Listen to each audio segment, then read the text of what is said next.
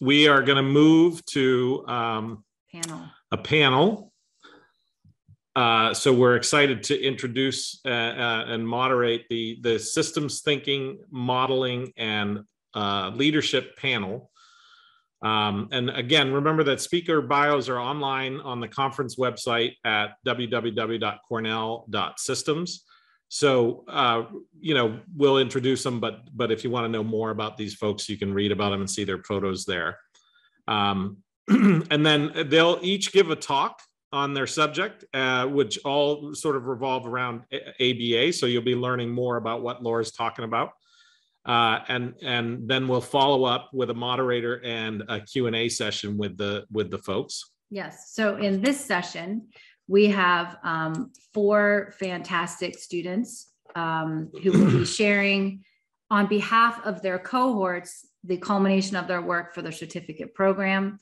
Um, and first, we'll have our inaugural year of the cohort uh, started, uh, did a study in the Galapagos as a system and made recommendations. And then our other two uh, cohorts, 2021 and 2022, unfortunately, because of COVID, didn't get to take a fancy trip to the Galapagos, but they did get to learn and apply more deeply these ideas uh, and research some of them. So what I'm going to do is tell you about all four of our speakers very briefly so that we don't have to interrupt in between.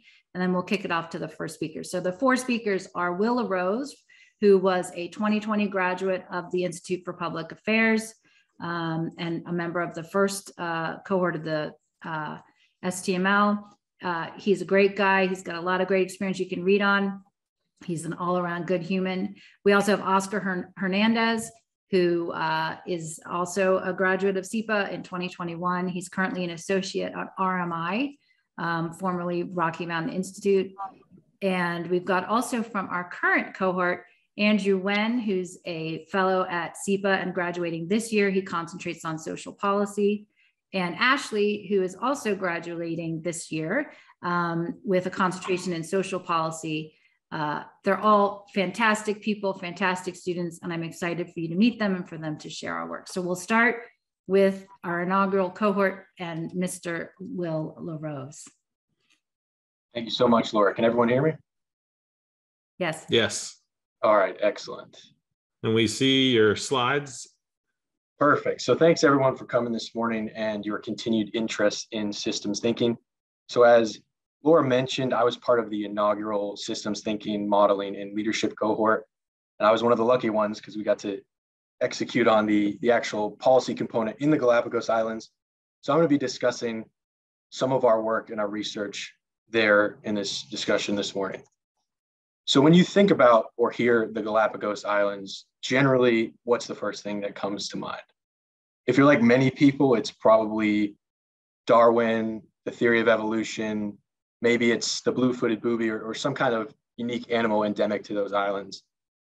But very rarely, if ever, do we think about the people who inhabit those islands, the Galapagueños themselves.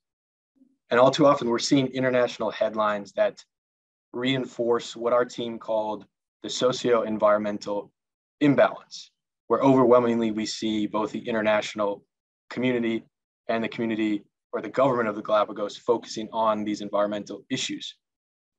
So given this understanding, our team sought out, sought to understand what brought about this imbalance systemically and how we might use an agent-based approach and systems thinking to influence it. So as I said, we had a year leading up where we studied primarily the theory behind systems thinking, and then we had 10 days of actual fieldwork in the islands. And I think based on some of the questions in the previous panel, this might be helpful to see how we went through the actual process ourselves. So when we conducted our initial DSRP analysis, we found some very interesting findings that were then validated when we were in the field. And so when we talk about agents, primarily we broke it down into three key groups, what we call the globally interested parties or the GIPs, state interested parties or what we refer to as the SIPs, and local interested parties or the LIPs. So the global interested parties in this system were the large multinational organizations like the UN, like the World Wildlife Fund, the international media, and some large international nonprofits. Now they have immense influence and power in this system, but historically it's been very rare and it's been almost entirely focused on environmental issues. So if you recall, you've probably seen in the headlines, there have been one or two pretty significant oil spills off the coast of the Galapagos, uh, or, or the instance where they were briefly removed from the UNESCO World Heritage status. Things like this spur action of what we call the global interested parties, but it's never socioeconomic related and it's very um, not, not tied to the reality on the ground often. Next, we have what we call the state interested parties, and these are the, the government itself and large nonprofits and the agents that make up them in positions of powers on the islands. And they often operate at the behest of mainland Ecuador, of which Galapagos is a provincial territory. So interestingly enough, they also are, are influencing this socio-environmental imbalance by trying to maintain the status quo. And what we found is, given the very lucrative status of the Galapagos Islands and the millions of dollars of ecotourism money that they bring in each year, it's in their benefit in the system to maintain that status quo because to be blunt, it often benefits those in power financially. And then finally, we have what we call the local interested parties in the system. And these are your average day-to-day residents. These could be local members of uh, local workers of the government. These could be the farmers, fishermen. These are just your average citizens.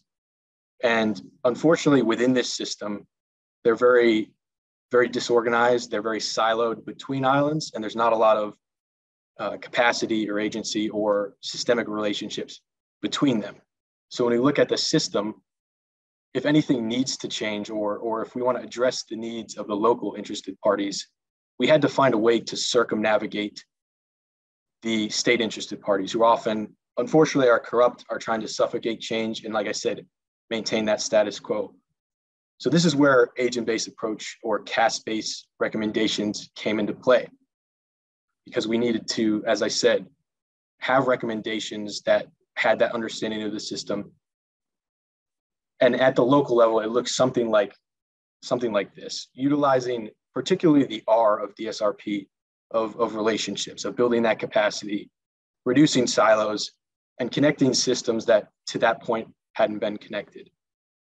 And as it's mentioned, if, if, these policy recommendations did not have, did not meet the checks for, uh, you know, a complex adaptive system or agent-based approach, they weren't going to be effective. They weren't adaptive.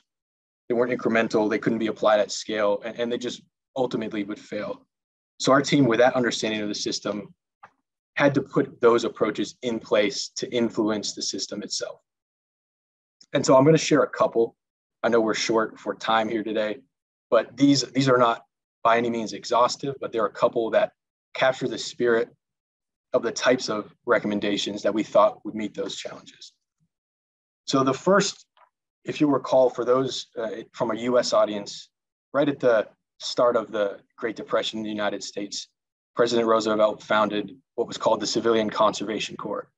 And it was a very effective public policy program that took young people who were unemployed and, and had them work, live in groups in the wilderness and work on public works projects. It was very effective.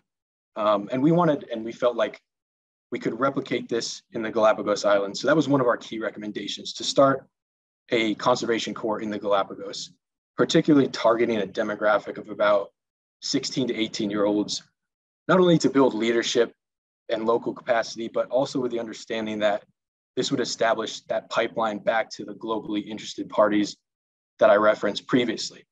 And unless it had that relationship, it, it wouldn't be effective. So that was one of the key relationships that we thought would build that, that, that key relationship between the GIPS and the LIPS and would build capacity at an agent-based level on the ground in the islands. Now, a second one is very similar in establishing, establishing relationships. And it, this was particular in and amongst the, the park guides on the islands. And when, while we were on the ground, it was very interesting to see that even between two very close geographic islands, they were worlds apart in terms of communication and policy and capturing best practices.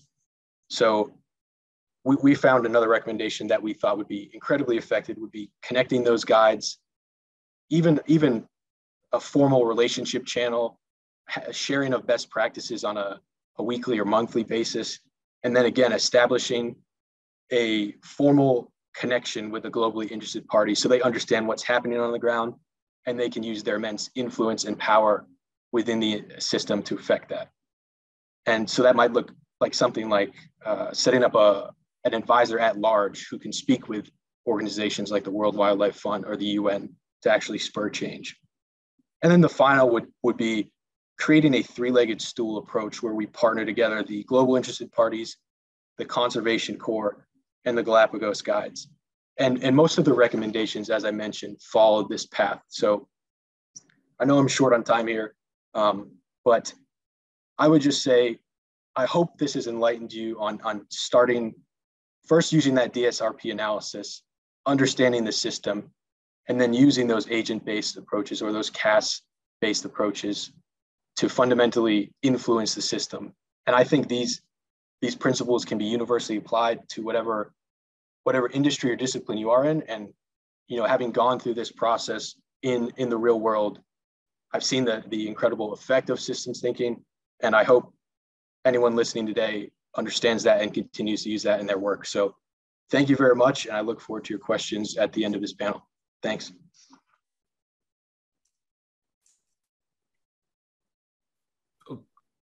we're going to jump to uh, Oscar Hernandez. Um, and then we'll we'll have a, a, Q&A session moderated at the end of the uh, three speakers. Can you see my screen? Um, yes. Can you hear me also? Yes, we can. Yes, we can. Okay. Thank you so much uh, for, for having me. And also thank you for uh, to Derek and Laura to make our journey really amazing, despite we couldn't go to an exotic island. Uh, but it was pretty amazing using different tools, digital tools. Um, and I want just to present some, some of the key um, insights and, and part of the process that we did uh, during our certificate. So, so we, we divide um, our certificate in, in two parts, in two stages. So the first one was this experimental research that I am pretty sure that the, they already described here. But um, I, I want to highlight here that it was a pretty difficult to try to create or explore some experimental research in this area. And I think uh, one of the, uh, let's say, takeaways of the certificate was uh, the process of identify my own mental model when, when I creating any question, survey, or, or approach. So that, that part allows to understand um, how the DSRP rules are being applied for, for individuals. Um, and the second stage, and that experience was pretty important to what I, I will show in next slide during our second part, which was uh, taking ABA and try to find what, what was what would be the value of applying ABA for, for policy practitioners? And let me put here our starting point during uh, during our time. So we recognize, of course, that we are in a in a VUCA world, and that the problem here is, is not the speed of the change, it's the, the acceleration. So we are not prepared for that, and the policy practitioner are facing different challenges or different processes uh, since they frame the issues, the problem, uh, how they approach the community during the stakeholder engagement, uh, the unstructured data, the evaluation. There are several processes that are being uh, impacted by um, not being able to acknowledge the mental model and discuss uh, openly about that. So we, uh, we, or, or, or hypothesis was that the ABI, ABA, sorry, is the VUCA world tool. And to find or to test our hypothesis, we need, we create these three interventions, these three different experiments. One was um, testing how the perspective affect the way in, in which policymakers or policy practitioners uh, make distinction, how they group the different topics. And when we are talking and, and part of the presentation of, of Will was that how you group the different stakeholders, how you group, for example, the, the topics, how you include include the uh, different perspective and sometimes conflicting interests. So how you put that together, sorry, that's my, so here. um, so how you put that together and how we can influence that decision to test that there are some bias models using data and some uh, images. So we create that, that experience. And at the same time, the other one was a more, um, so we will teach some uh, policy practitioners and then having some interviews to understand the value of ABA after they, they apply. And finally, a larger scale um, survey which we can just give some uh, bite side, uh, some infographics and videos about ABA and then ask for the potential value of that framework for policy, um, policy practitioners. But when we were designing the different experiments, we began to think, okay, what is, what, what is policy? So first, what is the distinction? What is policy? What is not policy? Uh, who is these policy practitioners or policy makers? Um, what, is the process of getting a policy? So we, we found several questions that we, we couldn't find a, an answer. We reviewed several uh, literature review or whole cohort were made by um, Master in Public Administration students. So we discuss a lot of these. We have several um, workshop and brainstorming session and try to find how this policy, public policy analysis, how we can connect that with the problem solving process or with the decision taking process. So we couldn't find uh, a whole, um, and let's say a compelling and robust answer to this. So what we decided was, okay, let's let's ask the policymakers, these these people that we don't know exactly, and learn the kind of tool that they already have. Because we also try to find what are the tools that they're using the policymakers. So each one has two or three in, uh, in the top of the mind, but we didn't have a whole list of, of different tools. So we decide to uh, to create two-part survey uh, to just create the baseline. Uh, the first part was about understand the persona. So who is a policymaker? Who is a policy practitioner? Uh, some demographic, the classical demographic, but also some jobs related, because we found that the job uh, just shape the kind of tool that they use or, or the kind of approach that they have to take. So we ask for the type of organization, the policy areas, and we focus a lot on the stakeholders. How many stakeholders they have, what kind of stakeholders, uh, the kind of beneficiaries of the policy in which they work.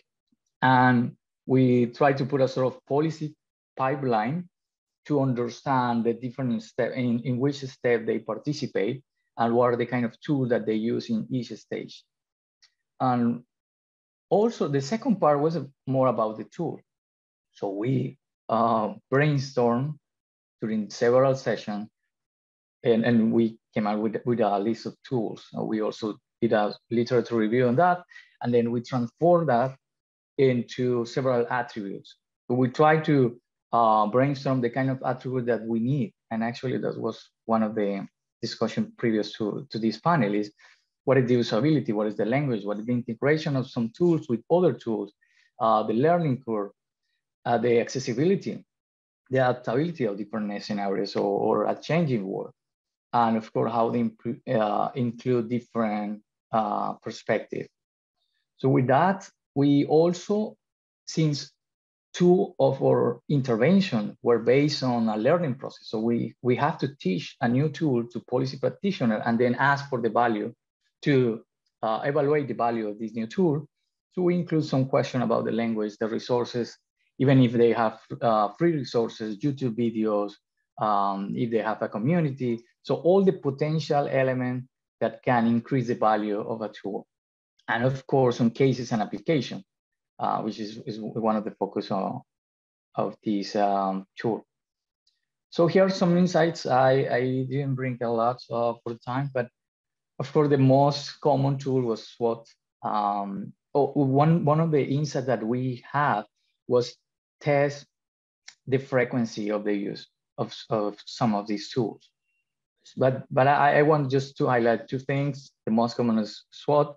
This is more for a, a more linear work, and the other was Excel was top of mind. Even if we ask for framework, for tools, for method, uh, the people just ask about Excel, that they just model everything on Excel, and they, uh, in some cases, they didn't complement with with other with other framework. And I, I just want to just uh, final thoughts here uh, about not only the insight, but the, the, the journey of discovering this, uh, uh, the, the lack of information, the lack of resources, and how we can, uh, other cohort can, can approach this problem. So the, the first idea here is that we need to change the paradigm. One of the uh, business principle is that the structure follow the strategy. And we are in policy, we are so focused on data, but we need to understand that the data should follow the mental model.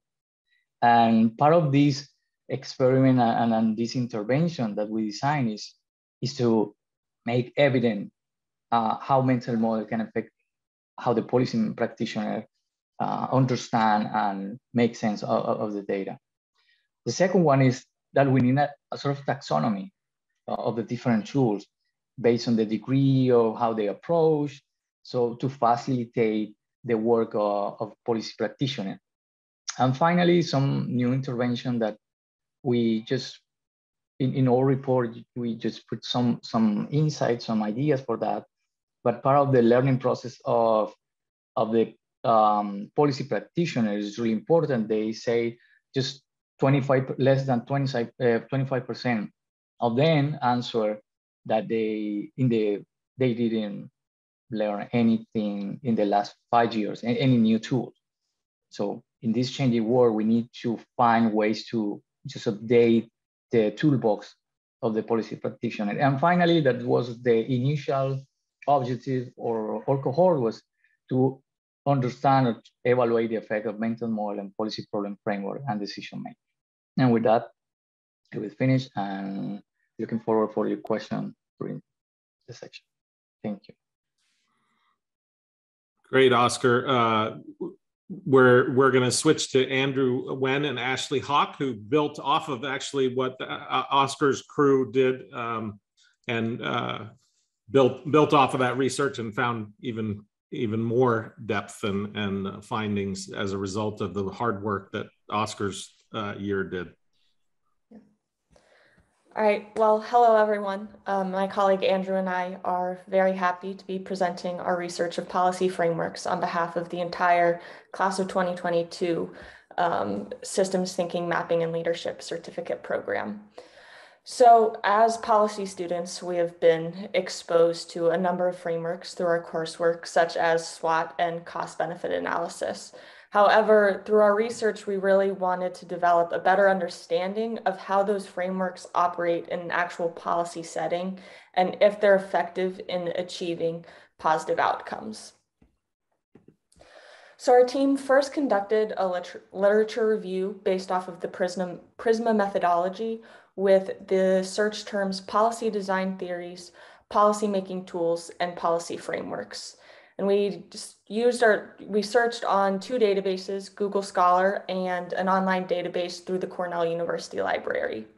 And we narrowed down the articles for selection with the search criteria that focused on the front end of policymaking, uh, specifically what frameworks are used when designing policy alternatives and then choosing the alternative to be implemented. And we went through several stages um, of narrowing down our search. So first we took the top 40 articles um, that came up in our search from each database. Um, and then we kind of filtered through the titles to pick um, what were relevant, comparing it against the search criteria. Uh, the ones that were then selected, um, we read through the abstracts and then finally chose the ones that would go through the full review. So you can see that policy design theories had nine articles selected, uh, policy making tools had 17 articles selected, and policy frameworks had seven articles selected. So one of the key findings from the literature was that there's a big disconnect between theory and practice. we actually found very few efficacy studies on the frameworks that we've discussed a lot through our courses, such as SWOT and cost benefit analysis. Instead, what we found was uh, a number of studies with specific frameworks for very specific problems. And those rigid structures within the frameworks don't translate well between different disciplines. And moreover, it was very unclear how prevalent those frameworks are in practice outside of those specific disciplines. So the question that then naturally arose from that, those, that finding was if policymakers aren't choosing frameworks based off efficacy and research, then how are they choosing the frameworks that they use? So based on our review of the literature, uh, the answer seems to be based on two things, exposure and expedience policymakers are choosing what frameworks to use based off of frameworks that they have experience with and what will allow for the easiest implementation instead of basing the choice off of the system in which the policy problem operates. So the picture painted by the literature is policymaking as an ad hoc process with no clear consensus on framework effectiveness. And so based on this um, disconnect, we designed a 12 question survey to send out to policy professionals based off of the following uh, research question. Do policy professionals use frameworks in their decision-making processes? And are the frameworks perceived to be effective? So we actually had uh, 286 respondents um, from both the nonprofit, public, and private sectors in a variety of different fields from education, economics, and environmental policy. And the basic structure of our questions asked if these uh, professionals used frameworks when making decisions, and if the answer was yes, what frameworks did they use? Then, regardless of if they used a framework in their decision making process, we wanted to ask if they found that process, whatever it was, was perceived to be effective. So this then allowed us to filter through and see what frameworks are perceived to be the most effective, or if not using a framework is seen as effective. And additionally, we also asked questions about education level, um, sector, and policy field to see if there was any relationship between those factors with framework use. And now I'm going to pass it off to Andrew to discuss the results and findings. Thanks so much, Ashley. So what did we find? Well, for starters, half of our survey professionals did not use a framework at all, which was quite surprising to us. Of those who did use a framework, 53% used cost benefit analysis or CBA, 19% used SWOT. And those two are by far the most common frameworks used by professionals. We also found that around 43% of those who did use a framework used one that was not CBA nor SWOT, these other frameworks are extremely varied and often very specific to their field. This was expect, expected given the abundance of policy frameworks that we found in our literature review. And other than SWOT or CBA, no other single framework is consistently used by professionals across fields and across sectors. So the natural next question is, what's driving framework use? Well, a regression analysis showed that there seems to be no correlation whatsoever between framework use and whether the professional is in the public or private sector, whether they work locally or nationally, and even their specific policy areas. Perhaps more surprising to us is that there's also no correlation between framework use and the actual perceived effectiveness of the professional's decision-making processes. On average, those who did use a framework and those who didn't use a framework both believe that the decision-making processes are mostly effective. This was the second highest rating they could have picked in the survey. The one result, the one main driver of framework use that was very apparent in our survey was the professional's educational attainment. As shown in this graph, each successive degree is associated with a significant increase in the probability of a professional using a framework. A regression analysis showed that the specific frameworks correlated with educational attainment is, you might have guessed, cost benefit analysis and SWOT. And also there is no relationship between educational attainment and these kinds of other varied frameworks. So in summary, our research showed that half of our policy professionals don't use a framework to inform their decision-making processes. Those who do use a framework are taught to do so through their formal education. And in general, universities are teaching them SWOT and CBA. And everyone finds that their decision-making processes are mostly effective. As systems thinkers, we find that this is concerning. CBA and SWOT are rigid frameworks that are not well designed for complex adaptive systems that policy professionals exist and work in today. While there are many other specific frameworks that work well with specific issues, those are also usually rigid in structure and may not transfer well into other policy areas. This is where we believe systems thinking can come in to fill the gap. In particular, the agent-based approach as a policy decision-making framework can rise to the complexity of the problems that policymakers face today. Without the rigid processes found in other frameworks, ABA can instead help professionals understand the fundamental system structures within the policy issues that they face. This would allow the professionals to build understanding, it will increase the flexibility of their decision-making processes, and ultimately, it will help them design policies that actually respond to complex adaptive systems. Moving forward, we would like to research the veracity of this hypothesis, and we would like to test the effectiveness of ABA in a more professional policymaking context. Thanks so much. That was fantastic. Very nice. Um, yeah, it's it's great to see this sort of progression over the course of three years of of, of uh, you know a line that you know we we started out not knowing very much, and we started out just attacking a, a really big problem in Galapagos, and then we said, yeah, how do people use models and frameworks? What are they using? And we knew nothing, and it was very difficult to even get construct validity on the questions, as Oscar pointed out. But Oscar's group found a few things uh, that gave us a little bit more that in the next uh, year in Andrew and Ashley's group, we were able to um, kind of zero in and find some really fascinating things. So I'm curious, like uh, you mentioned a little bit of it at the end, Andrew, but like, what should we be thinking as a result of, of this path that um, that we that we went on? Yeah, well, I think that um, you know, coming coming out of a two-year Master of Public Administration degree, kind of the main tools I have to tackle the problems that I hope to work on, and I want to work in you know government, and I want to work on these very important issues that face our societies today. I'm kind of thinking of things in terms of strengths and weaknesses, or I'm thinking of things in terms of costs and revenue. And that's just not enough to kind of tackle the problems we are facing today.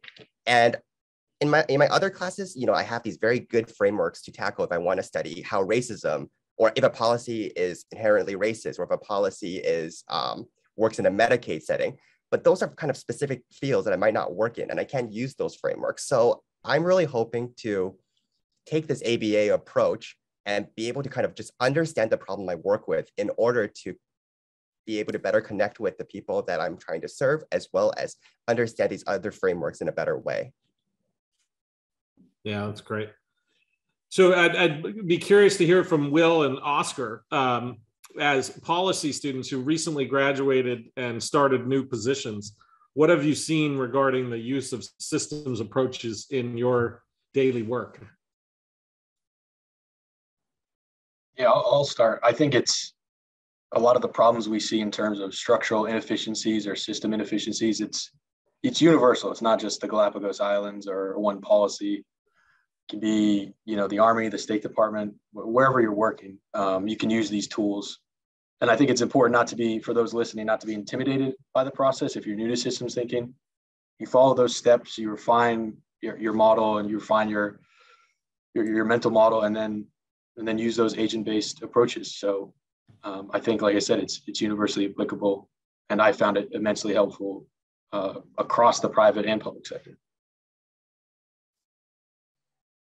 Yeah, definitely, and I, I just I, I use a lot, particularly to make the distinction first. Um, I am quite obsessed with with that, and just let me give you an example. Now I'm working on energy transition, and one of the things that it was useful for me when I, I began my position was, okay, what, what we understand by energy transition.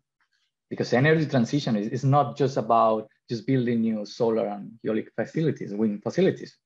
It's about uh, the electrification of the transportation, of the infrastructure, new infrastructure, um, about um, building electrification. So you have different different minutes, and, and then you begin to map the different topics and increase, of course, the complexity and the relationship that you, can establish there. And I, I, I found that ABA is amazingly important uh, on topic like energy transition and particularly in just transition. Uh, when, when you include an equity perspective, uh, the complexity and the amount of relationship that you have to map, the, the only tool that you can use is, is this kind of flexible tool that allow you to, to map and understand what, what is happening and what are the, uh, the behaviors of, of the different agents. Yeah, I, lo- I love your your focus on distinctions because it's so often the case when people are first introduced to to DSRP, they kind of skip over the D. It's like, oh, th- those are things, you know, and it's the S is the part whole and the relationships and oh, perspectives are the best and all that. But the compl- uh, there's a lot of complexity in the D's that we make, right? And and we often start with the D's and we just move on. And we've already ruined our analysis because we haven't questioned what are the assumptions in the distinctions that we're making and uh, what what does this term that we're just throwing about what does it mean? What what what's part of that term? What's not part of that term? So i i find the same thing oscar that that you know i spend a lot of time in the d's uh, before i even get to anywhere uh, anywhere else Ashley, uh, kind of a, a, two questions for you uh, from the audience. How, how, did you identify the 286 individuals for the sample and talk a little bit about Prisma and how that was like why Prisma and yeah, absolutely. Um, so I think regarding the first question, um, we're fortunate enough to be working with two individuals in the Cabreras who are very well connected. Um, so we were able to um, hand the survey over to them and they send it out to a platform and we're able to specify kind of um, that we wanted individuals working in uh, policy in some kind of capacity. Um, and so that's how we got the respondents. Um, and then Derek actually introduced us to Prisma as kind of a more um, systematic way to go about doing a literature review. Um, normally, it's just kind of a very haphazard process. You put in different search terms and just kind of grab from everywhere. Um, but Prisma really allowed, you know, a group of people to kind of um, narrow down our search criteria, what we were looking for, especially when you're talking about something as nebulous as policies and policy frameworks. Um, so Prisma really allowed us um, to uh, kind of make sure we were all on the same page when we were um, conducting our literature review. Um, and it also allowed it to be a little bit more quantitative in nature um, and focusing on like how we were narrowing down our search criteria. And I mean, you saw we got thousands and thousands of hits just with one search term. Um, and so Prisma really allowed us to kind of think about how we were narrowing it down. And it really showed kind of the discrepancy in how many results you initially got and then how many articles actually kind of fit the topic that we were looking to study more. And this one is to, uh, I guess, the whole panel uh, from the audience. Does the panel think DSRP and ST are as easy to learn, remember, and apply as CBA and SWOT? Uh, if so, then why aren't they taught or more commonly seen? And I'm thinking about the fish tank results, which only took a few minutes to see vast improvement.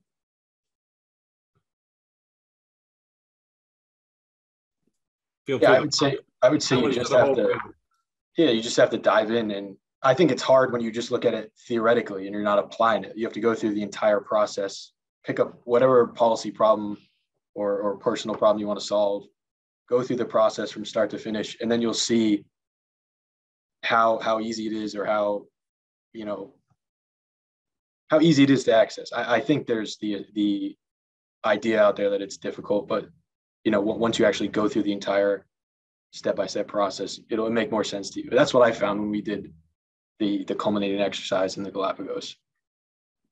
Yeah, and I think Do you want to Go go? ahead. Ash. Okay. Um, I think like the main thing about systems thinking is it's already kind of naturally how people are born to think. But um, I think particularly the education system kind of almost trains you out of not thinking about that, thinking that way. Um, and if you hear more about the Cabrera's research with kindergartners, they're able to pick up these concepts so quickly because it's just innate in how we operate. So I do think um, kind of once you relearn kind of the systems thinking method, it's very easy to pick up. But we are through as you go throughout your education, you're trained more thinking in the strict categorizations, SWOT um, and CBA.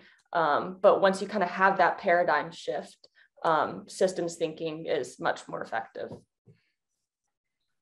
Yeah, I, completely agree, and I, just uh, would add that part part of um, let's say the um, that the the other like SWOT or CBA are, are so common is there's there's already a network, a, a community, so you you can ask your your uh, colleagues in, in your work, and they they will show you there are tons of picture and cases on how you apply.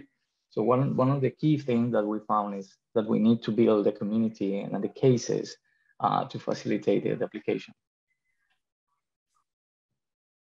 Yeah, and the only thing I would add to what everyone said was like, I think to me, um, DSRP and systems thinking was like learning to ride a bike. You know, um, it was the concepts are easy to learn. You know, pedal in front of the other. I'm extending the metaphor here, but um, and it's, it's a little like and when I was first starting, I gotta like constantly go back and be like, okay, how am I being methodical? How am I being intentional? But like after a year of like working with these folks and um, doing some final projects and just using these concepts over and over again, it's like riding a bike where I can just now do it pretty intuitively. Whereas something like SWOT or um, CBA, they're kind of just one thing. It's like a hammer. They can only just do one thing and it's difficult to use in a different con context. And I know that's a mixed metaphor. I'm not sure it's completely um, tracks, but it's like you can just only use a hammer for one thing. Whereas, but it's easy to use, but it, it you can't really do a lot with it. Whereas if you just kind of learn DSRP and learn the ABA approach, it gets more and more natural. And then I found it a, a lot more powerful afterward. Yeah, I think I think that's a great point, Andrew. I mean, the hammer metaphor is pretty good because it is just like you're just going around and hammering things with. I mean, obviously, cost benefit analysis is a, a really useful concept, but it's not. Uh, it's not. It's a. It's like you know, it's one thing, right? And uh, and you're not going to really deeply understand complex systems by just, just banging on it with a CBA analysis. So. Uh, we got an audience question for, I, I guess, Will, because uh, it mentions the Galapagos. In the Galapagos study, was there any specific, or sorry, is was there any recommendation made in regard to the state slash government party to promote a different impact coming from that group? Not sure I understand the question. Are they asking if what did, uh, you you talked about LIPs, SIPs, and um, GIPs, and so I think they're talking about the SIPs. Were was were there were there recommendations tied to that agent group? No, your, they, they weren't. They were they were at the local level, just given that relationship where there's prevalent corruption and they're trying to suffocate any change at the local level because, as I said, they want to maintain that status quo. So if we had pre- presented a report to the government, they would have just, you know, filed it away and, and carried on. So th- these are agent-based recommendations at the, the local, locally interested party level, because that's where, you know, actual change in that system was going to come about. And at the GIP level, right? And the relationship between them. Yeah, exactly right. Establishing that relationship. Yeah, because they have immense power and, and influence, as, as we mentioned. And uh, yeah, connecting those two, circumnavigating that state interested party was key. Yeah. Uh, let's see. Um, education takes everything and pulls it apart and makes no connections at all. Bill Mollison. Are there any resources we could use to start our? Oh, this isn't really for the panel. Sorry, we'll answer that one uh, in a second. Um, Ashley and Andrew, uh, did any of your findings surprise you? If so, why? And give us your insight as current MPAs who are about to go to, you know, out and uh, change the world.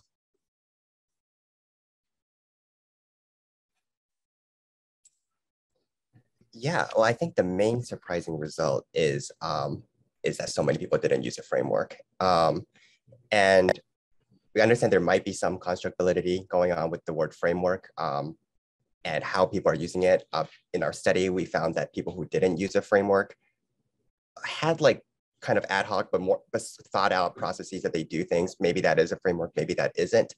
But um, I think that that kind of just points to there's just a lot of confusion in how we should be approaching problems in the real world.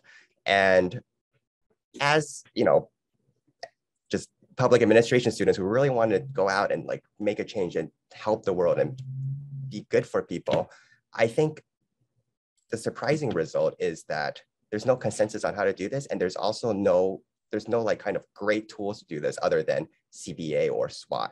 And I think CBA and SWOT are fantastic tools for specific problems, but um, I'm surprised that you know in in our 21st century college education degree, we we're not we don't have more to give students, and um, and I feel like that's where systems thinking can really come in. Yeah, definitely. Um, and really, the only thing I would add to that um, is kind of goes back to something that Laura touched on in her talk, which is that um, you know it's not about solving problems; it's about understanding the system. And I think SWOT and cost benefit analysis um, are great when you kind of have a solution and are analyzing an implementation plan or comparing different policy alternatives. But at the end of the day, they don't help you understand the system. And I think when we, in living in a VUCA world, when so many of our problems are interconnected and a policy intervention in the environment will have huge impacts on, you know, economic policy. Um, we really need to have more of a focus on understanding the systems. And I think that's where ABA and DSRP really come in. Um, it, it sounds like your your answer will um, brought up another question. So uh, this one is, am I understanding ABA correctly that we need to focus on the local level in order to impact national and global systems? I don't think that's what you were saying, but just for the Galapagos. Yeah, I think each system is different. Um, and in this particular one, I think, yes, at the local level, universally in the Galapagos, that would be effective. Um, but that's not to say another system or policy issue that's the that's the same. So, I mean, that's a great question. But yeah, in the Galapagos, mm-hmm. focused on those locally interested parties with creating that channel and relationship to the globally interested parties. And and the reason that you arrived at that as a group was because you interviewed a bunch of people, did a bunch of background research, and and you essentially found that the state interested parties tended to be wanting to reinforce the status quo the way things were which are pretty unsustainable. Yes exactly right. Is that an accurate statement? Yeah. Yes. All right. Uh it looks like we can do one more question. Um so I think this is along the lines of one thing uh, that uh, Andrew just talked about, but uh, possibly just confirming that. Do you believe that if you if you define framework in quotes differently, you might have had a higher percentage of yes answers? For example, the federal acquisition regulations define independent government cost estimate (IGCE) as a mandatory requirement for government spending. It is a framework.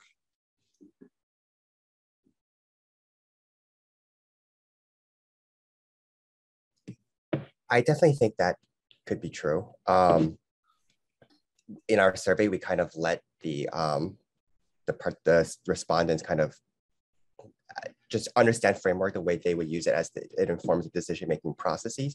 But I think to the to that point, it, it was also clear in our research that no matter what framework that they believe you used or didn't, everyone just thought that their decision making processes were mostly effective. There was really no change in perceived effectiveness no matter what they did. And some outlined very long kinds of decision making processes and was like yep, our decision making processes are mostly effective. And some are just like, I listen to my manager. Yep, it's mostly effective. And I think that is also interesting and um, really points to this idea that maybe we should be thinking more intentionally about the problems that we face. Yeah, I would agree with that. And I mean, we, we really did have a lot of questions about how we wanted to go about asking about frameworks, given that um, it's not always clear what is meant by framework. But I do think what was um, really clear from the survey results, and this might go back to a little bit to the previous question about what surprised us, was that people just don't intentionally think about how they make decisions. They just kind of do it and don't think about if it's effective or not. They're just like, well, we've been doing it. And so I guess it's effective, um, which is really surprising. And as Andrew mentioned, I think we really kind of need to move away from that and start intentionally thinking about how we want to go about understanding systems. Well, and and uh, as you and Andrew kind of pointed out to me a, few days ago, like the it's like we're not even we're we're getting trained because we're getting trained on SWOT and uh, and and CBE, and because we have those, we use those, and it's very rarely about well, what what is the system? It's very rarely about the system, right? That we're trying to understand. It's about which tool do I have, which thing was I taught, uh, and so we use those things eh, eh, because we have them um, and and I think what where we're trying to flip it is is to sort of say, well, if the system is a complex adaptive system, maybe we should approach it as such, right? Like it should be about the system. The system should determine how we approach it. Um, and I, I, think that really came out of uh, of this line of research that started three years ago and has ended up with what Andrew and Ashley are presenting for a whole team of folks um, so there's you know three big teams of folks that were part of this, and I and we're going to take it and keep going with it. And uh, great job, great to see it all sorted together. It makes so much more sense together rather than disjointed, which ironically is very systemy. Um, but uh, thank you so much uh, for all your hard work and and uh, for your presentations. And thank you to the groups that you're representing, because like I said, there's about, you know, each of you are representing about 12 or 15 people. Um, so uh, thank you.